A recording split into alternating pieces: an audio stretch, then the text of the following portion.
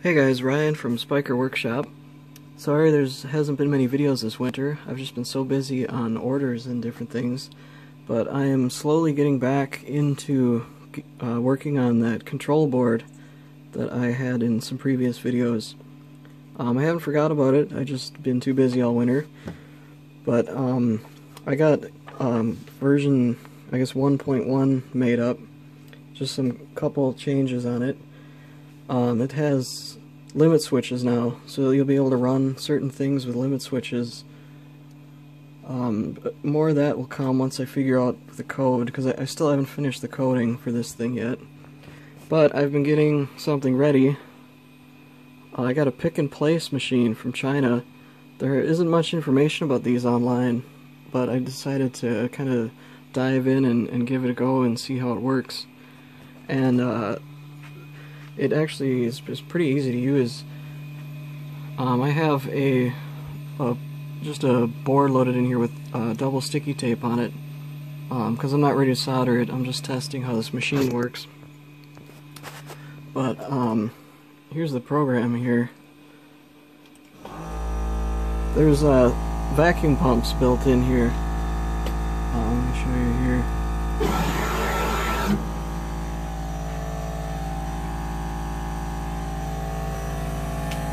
It uses little nozzles that drop down. Let's see what I can do it here.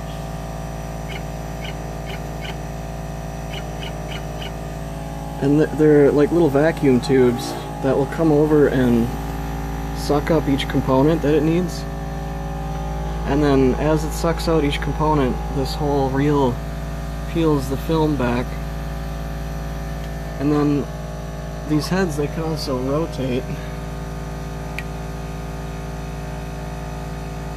And it has um, two vision systems up and down.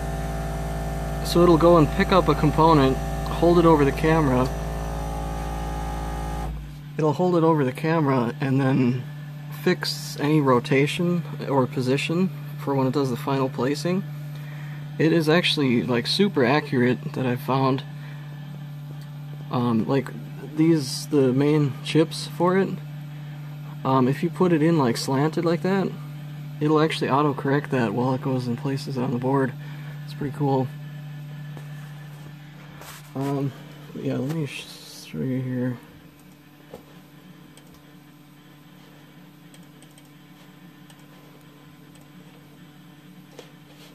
Um, I'm gonna run the machine at only, let's see, yeah, 50%, just so you can see what's going on more, because it's it's really fast.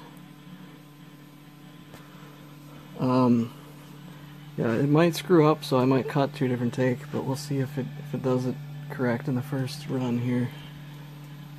Alright, here we go.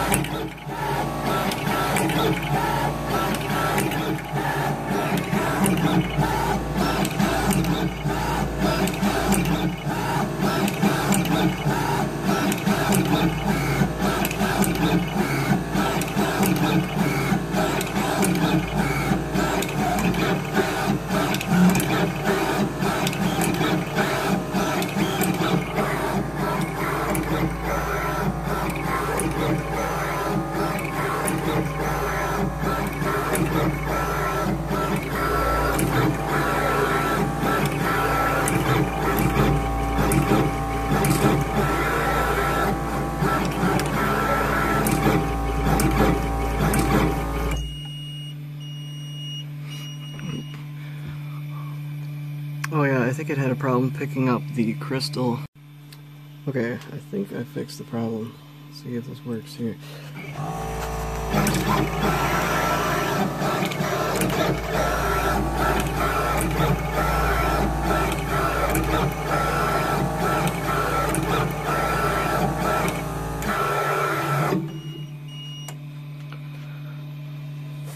Oops. See if my phone can zoom in here. So yeah, the placement of this thing is really good. Like that, that main Arduino chip there, the big one here, the pace or placement on all these pins is like perfect, pretty much. It's pretty crazy.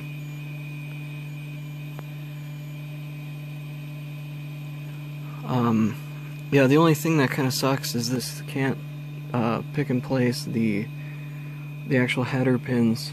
But when I get around to selling these, I might sell them in two forms, with and without the headers pre-soldered, so I can save you some money if you want to solder those headers on yourself. And also, um, I have to manually place the buttons on here, only because one of the button actually hangs off the side of the PCB just a little bit, and it, it can't on here because it's like this piece of metal is in the way. But yeah, it's it's pretty crazy how accurate this machine is. Um, I plan to use this thing also to make um, the light kits for the Spyker KAT, the cab. Um, I'm, I'm going to buy like a whole spool of LEDs, and I'll probably make a light bar for the snowblower. And, uh, I mean, I, I plan to try to make a whole bunch of things with this machine. But yeah, thanks for watching, and uh, stay tuned for when I actually get this board out for sale. I still have a lot of coding to do on it, but I'm getting ready to get ready to produce it, you know, once it's done. So yeah, thanks for watching.